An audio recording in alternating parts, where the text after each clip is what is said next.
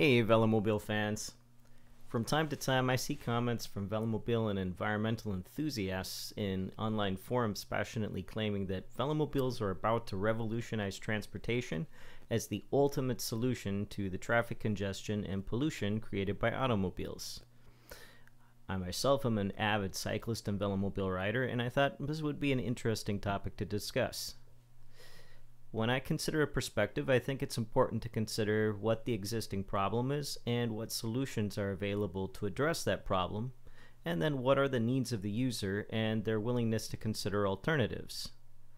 The problem in this case, of course, is climate change, driven at least in part by pollution from vehicles, combined with limited resources, high fuel prices, and traffic congestion in larger cities. Those invested in addressing these issues are searching for solutions, and some see velomobiles as the answer. So, what do velomobiles offer that could revolutionize transportation? Velomobiles have existed in some form since the velocars built by Mochet around the time of World War II. Often early models were two-seaters called sociables. They tended to be heavy and not especially fast, but they did have practical features like space for two people and cargo. Serial production of velomobiles didn't begin until 1983 with the Leitra out of Denmark, followed by the aluminum Alleweder, and finally modern fiberglass and carbon shell single-seater monocoque velomobiles. The biggest advantage of a velomobile, of course, is human-powered speed. Modern designs have sought to refine aerodynamics, sometimes at the cost of cargo space and rider size, to allow a fit rider to cruise on quality flat pavement anywhere from 40 to 60 kilometers an hour, depending on the level of fitness and infrastructure quality. Even a very average rider can cruise over 30 kilometers an hour on flat, smooth roads. Further advantages are protection from bad weather, some degree of crash protection due to the shell around the rider, greater visibility in most traffic situations compared at least to a traditional bicycle, and depending on the model, more cargo capacity than traditional bike panniers.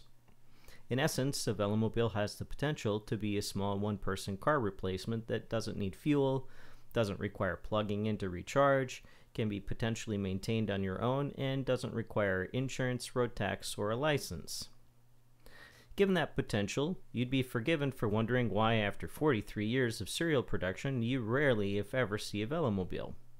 In fact, at peak production, maybe 400 velomobiles were built in a year, and in the last couple of years, production has fallen off to perhaps half that many. So, what's the deal? I think the biggest barrier is the perception of price relative to value. A new velomobile will cost you anywhere from 8 to 14 or 15,000 euros. For that price, you can often find a serviceable car, although that car does come with recurring costs to operate. Even a used velomobile often starts at 4 to 5,000 euros. While you can buy an aluminum Alleweder kit for around that price or a bit less, most people aren't prepared to assemble their own velomobile in their spare time. People also tend to prefer to fit in with the crowd. Velomobiles don't exactly blend in and they aren't very common. The majority of velomobiles being produced are single rider and lack the ability to stash a kit or two in the back to drop off at activities. There's also been a trend lately towards more compact velomobiles with less luggage capacity, so shopping for a family might mean exceeding cargo capacity and larger items would require hauling a trailer. More and more people are moving to cities. Visibility in city traffic isn't quite as ideal. It can be hard to see around parked cars, and velomobiles are less visible when directly next to a car. Start and stop in traffic is not especially efficient with a velomobile because of the 25 to 30 kilogram weight. Dealers are not as common, and not every bike shop is willing to or comfortable with working on a velomobile. Often riders need to do their own maintenance, and not everyone is capable of doing that. Velomobiles require a certain degree of athleticism starting with getting in and out, and then with the actual act of riding. That limits the suitability for those that are less able bodied. Then there's the hard reality that people just like convenience. They don't want to pedal hard and arrive at their destination bathed in sweat. Safety, or at least the perception of safety, plays a role as well. Velomobiles, in my experience, are safer than a traditional bike, but given their size and large turning circle, their efficiency is limited on bike paths, and Unless you live someplace like the Netherlands, you probably don't have a lot of good cycling infrastructure. It can be intimidating to ride a velomobile or any type of bike for that matter in traffic with the ever increasing size of vehicles. For decades, a segment of society has been saying if prices go up enough, people will stop driving. But the reality is that no price seems too high for the convenience of a car. Does this mean all is lost and society will continue its nosedive into increasing vehicle sizes? No, not necessarily. What it does mean, though, is that those of us that choose to cycle need to step up our encouragement and support for others to join us, starting with young people. Set an example for them by cycling every opportunity you get. Oftentimes, it's getting started that's most intimidating, so invite them to ride with you and find out what it's like and how to cycle safely. Get involved in advocating for more investment in cycle infrastructure where you live. Having safe places to cycle especially places that connect residential and commercial areas, will help people feel more comfortable choosing a bike as an option.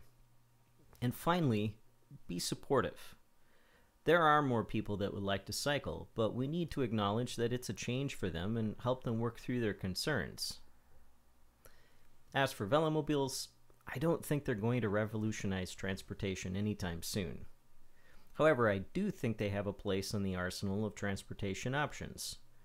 For those that live in areas where they can take advantage of the aerodynamics and weather protection of a velomobile, for instance, here in Zeeland in the Netherlands, a velomobile could be a logical car alternative, especially for commuting longer distances. However, there are lots of other great bike options as well, including cargo bikes and e-bikes. No one type of bike is going to work for every situation, so the goal should be to help more people start cycling regardless of what they're riding. So, get out there and start encouraging and advocating for cycling. As always, thanks for watching. Remember to like and subscribe, and I'll see you in the next video.